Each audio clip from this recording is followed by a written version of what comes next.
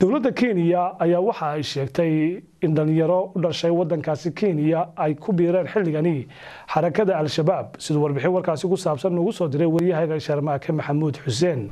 taliska sare ee ciidamada kenya ayaa sheegay in dhalinyaro ka soo jeeda gobolka waqooyi bari ee dalka kenya ay u soo gudbeen dhanka soomaaliya islamarkaana ay ka qayb noqdeen dagaalyahanada al-shabaab ee ka dagaalama soomaaliya. Afhayeenka ciidamada difaaca kenya warbaahinta la hadlay ayaa sheegay in dhowr maalmood ka hor ay arintani dhacday oo dhalinyaro aan tiro yareen oo ka soo jeeda gobolka waqooyi bari ee kenya ay u safreen gudaha soomaaliya. Afhayeenka ayaa qeexay sida ay u doonayaan ciidamada kenya in hardan adag oo dhinaca dagaalka ay la galaan al-shabaab si loo yareeyo dhalinyarada ku biiraysa shabaab islamarkaana ka soo jeeda kenya. Kenya gaar ahaan gobolka waqooyi bari waxaa had jeer ka dhaca weeraro ay geystaan garabka shabaab ee kenya oo al ayman lagu magacaabo. Waxaana arrintan ay u muuqataa in weeraradan waxba aysan hadda ka qaban karin ciidamada amniga dowladda kenya. Kenya hadda waxay niyijab ka muujinaysaa dhalinyarada ku sii biiraysa al-shabaab ee ka soo jeeda gobolka waqooyi bari ee kenya